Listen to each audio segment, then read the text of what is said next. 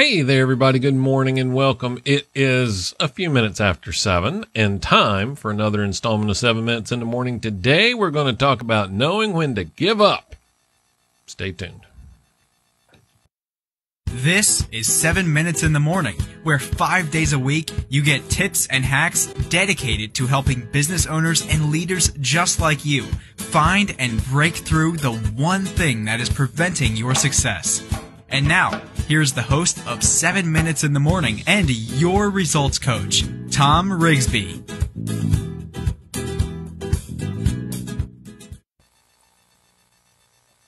Mm, yeah, that's good. Cup of coffee. Grab a cup of coffee as we sit here for the next, uh, oh no, seven to 10 minutes or so. My name is Thom. This is 7 Minutes in the Morning, the show where we talk about how to start, grow, and enjoy the benefits of business ownership. And make sure that this is working here pretty well. There we go.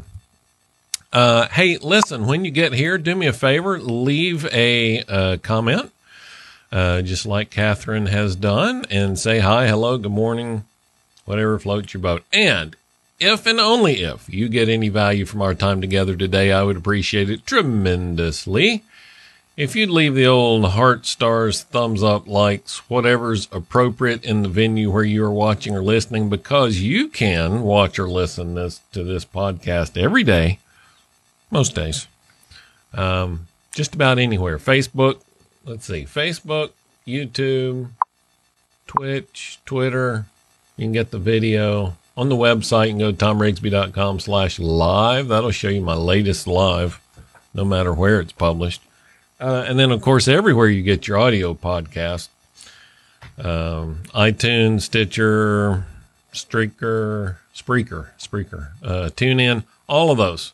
I was looking through my stats the other day. I, I even had links from places I didn't know the show was showing up. So, uh, really, just about anywhere you want to watch or listen, you can join us each day that's a good way to start the day. And the whole idea is just to give you a few minutes of something mm, good to help get the day started off on the right foot.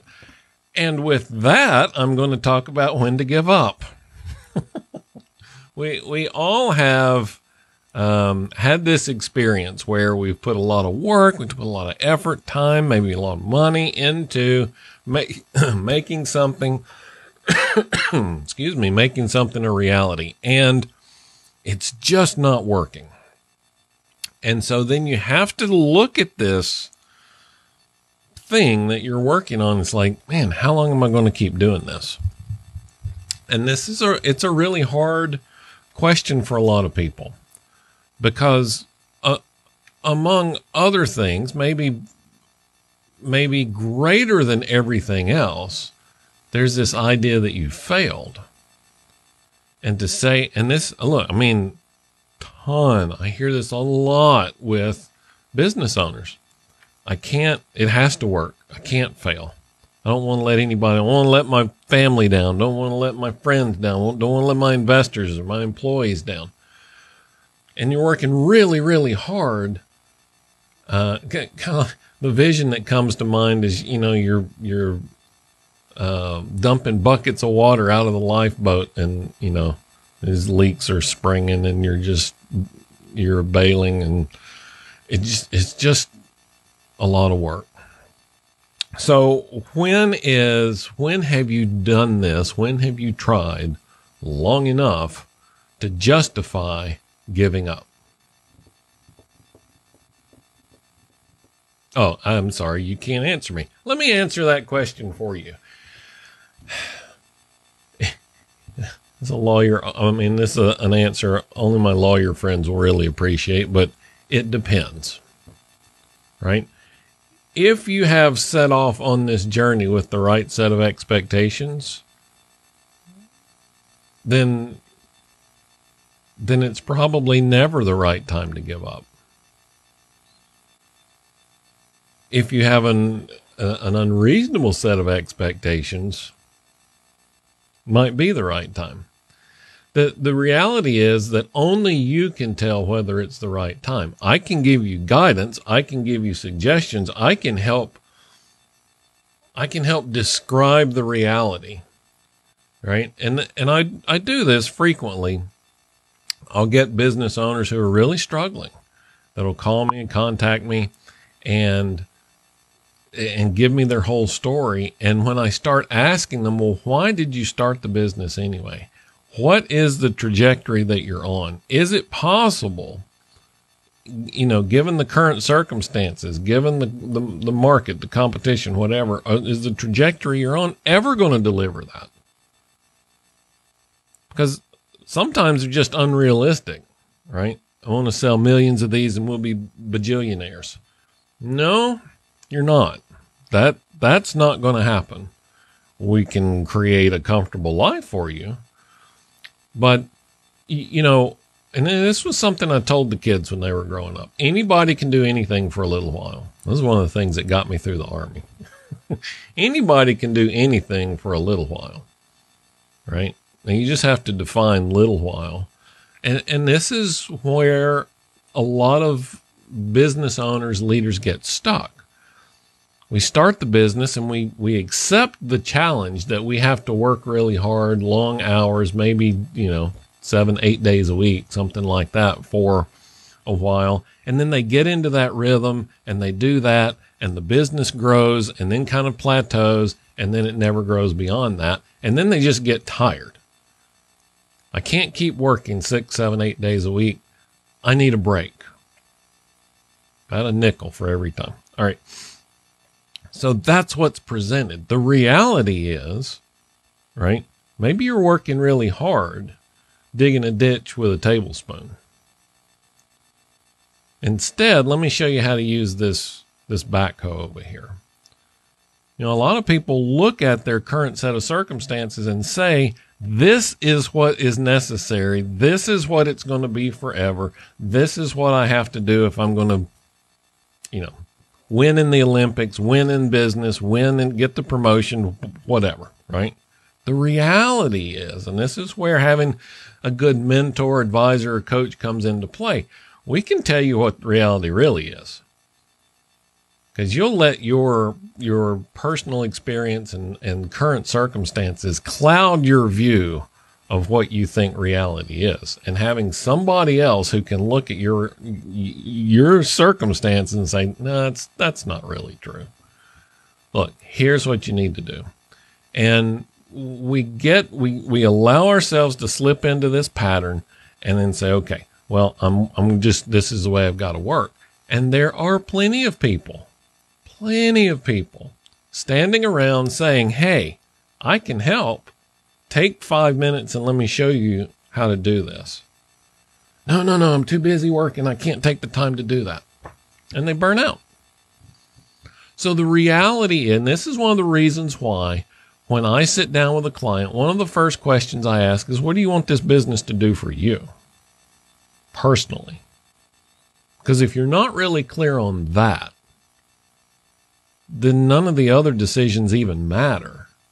And I'm not really sure how you make the other decisions. We can get a textbook that says if you're making this much and spending this much, then you should do that and do this. Okay, great. But what's that doing for me? right? If it's not going to get me where I want to go, if it's not going to deliver on the promise that I sold myself and, and my important relationships when I said I'm going to start this business, then is it, is it worth it? And that's where this comes down to a, a personal decision. Now, does that mean you're a failure if you quit? I don't know. I say it all the time. You you only fail if you quit, right? There, there are circumstances where, uh, what is it? Discretion is the be- is the the better part of valor. Knowing when to engage and knowing when to live to fight another day. You know, I've had businesses that failed. Had two. Now I've learned I, from that. I've learned what not to do next time, and I didn't do it this time. And where things are working much better this time, right? So don't don't think that you, you know. Sometimes we set this up to be way more important than it really is. Yeah, sure. You got to pay attention. You got to work hard. You got to do the work that's necessary to win. But at the end of the day, you know, whether your business succeeds or fails, that pales in comparison to whether you're you maintain and grow important relationships and, and have a happy, healthy, balanced life. Right? So find if if you're struggling, if you came across this video, somebody sent a link to you, you're struggling, you're not really sure what to do next.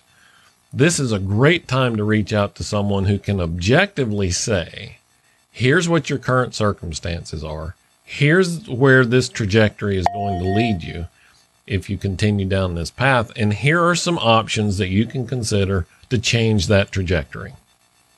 Right? You can call them a coach, you can call them an advisor, you can call them, you know, butterflies and unicorns for all I care. Find somebody who can do that. If you'd like to talk to me about that, I would be happy to do that. Easiest way to set that up is just go to the website, thomrigsby.com, click on the coaching link at the top or just thomrigsby.com slash coaching. I'll do it. Happy to do it. All right. Tons of comments here. Working hard and staying busy doesn't mean you're accomplishing what you want. That is correct, Catherine. Stop bailing with a spoon and fix the leak. Yeah. Sometimes you just need to put the bucket down, fix the hole, and then get back to bailing. Right? I, I, I use this analogy a lot, but it's a hamster on the wheel, right? Hamster on the wheel is working really hard. It's just not going anywhere.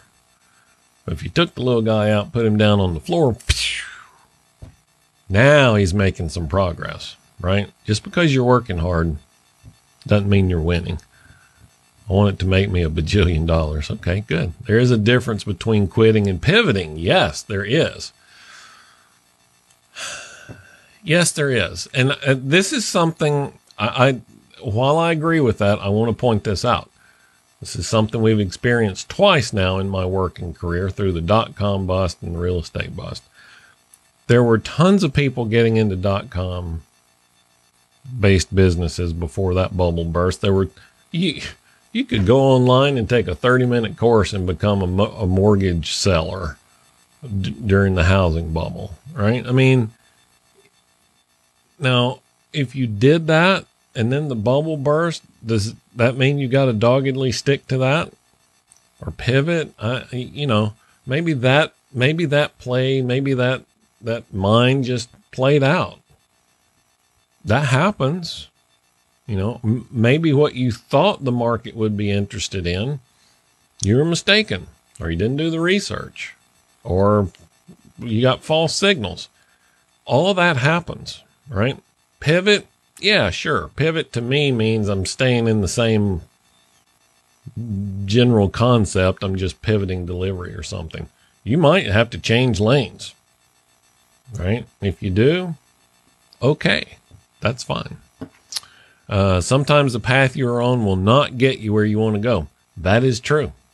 And you'll have to change paths. And sometimes it, it's really difficult you get put into some really difficult circumstances because the your partner, your family, your significant other, your friends, they don't want to join you on another path. And so you're trying to go down this path and and and maintain, you know, this fingertip touch relationship out here. At some point you just have to decide.